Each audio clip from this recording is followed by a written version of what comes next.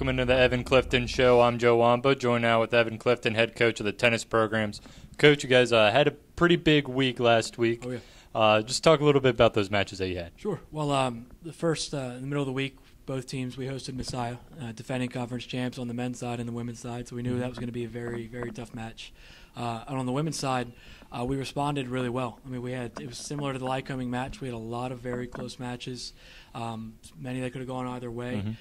Um, we had a really, I mean, Jenna was down a set and 5 2 in number one singles to a very good player in Kelly Hopkins. And um, she was able to get the two breaks back and, and level the match, win the second set in a tiebreak, uh, and then was down a break or down 5 4 in the third set, broke back, forced a tiebreak, won the third set, and number one singles match uh, in a tiebreak. So it was a really nice win for her Mhm. after having a couple really close, tough losses uh, the last few weeks. It was nice for her to be able to respond and pull that out. Um, you know, and uh, so on the women's side, we lost five four to Messiah, uh, which is a pretty encouraging result considering they're defending conference champs. It's a very good team, um, and we really used that momentum on the women's side to carry us to a win Saturday at Albright. So it was Mhm. nice to get that six three win. You know, so we're one and two in the conference, still in the playoff hunt for sure.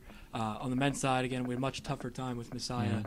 Uh, they're just a very, very good team. They were certainly better than us on that day, and um, you know, it was disappointing for, for a number of matches. It was, we had a really good match at, at one doubles. Uh, came down to we were seven six down serving, and you know, our serve faltered a little bit, and we, we lost the number one doubles match eight six. Uh, number one singles, Brian had a really tough match. Played really well with uh, Tim Dunn, who's just playing just so well this week. Mhm. Um, you know, he lost four and two.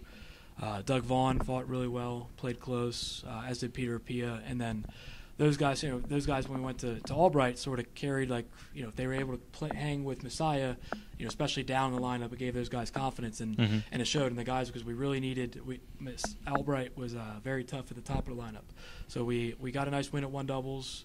Um, and then uh, one and two singles we lost at Albright. So we really needed, for the first time this year, we really needed the bottom of our lineup to, to really carry us. They had to play Mhm. perfect. Um, and we won at four, five, and six singles. We were down four two, and we, with those three matches on, uh, you know, it doesn't matter who you're playing. When when you need to be perfect like that and win it, it's Mhm. you know, and when you you're able to pull those matches out and take the five four win, you know, you certainly are happy to have that, and you draw confidence from it. Um, and then the men played yesterday, played at Goucher against very te- a team that beat Messiah seven two or eight one Mhm. in the fall. So we knew it was a, a really high level team, and uh, you know we were just going to go out there and just try to get better, play as well as we can, and, and we did. We played really close at one doubles. We were down 5-0 um, pretty quickly, and then Brian Warnden responded real well. Got back on serve at five four. Um, you know, and then Messiah re- or um, Goucher regrouped, got a break, and they took that that match eight five. But um, all in all, a good, good week. We Yep. played certainly um, as well as, as could be expected. Um, you know, and we're preparing uh, for the rest of our conference matches coming up this this next week, and uh, for Alvernia Wednesday. When you talk a lot about momentum and mentality, what does it take to win those break points when you guys really need them, especially in the four, five, and six slots? Yeah, yeah. I mean, it takes a couple things. Um, one, it takes not letting the moment be too big for you, not thinking about the score, not thinking about the ramifications of winning or losing that Mhm. point. You need to stay focused on the process, which is something we preach and practice every single day. Mhm. You know, focus on what you need to do on that specific ball, what you need to do to win that specific point, and you let the result take care of itself. Um, and I think we're a lot of our guys are, are learning to do that, learning to embrace that, and it takes time. Mhm. Um, but we're certainly getting better at it, and you know, hopefully w- that continues this week.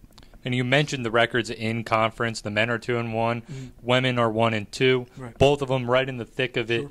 What is it going to take as this stretch continues in conference play for us to be in one of those top four spots? Yeah, well, I mean, we just, certainly we can't overlook anybody. Mhm. You know, so we have Alvernia coming up next uh, on Wednesday and Thursday for the men and the women.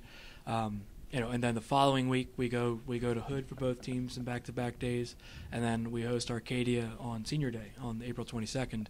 Um, all three are teams that we beat last year on the men's side, and teams that you know we we expect to win again this year. But we got to take it.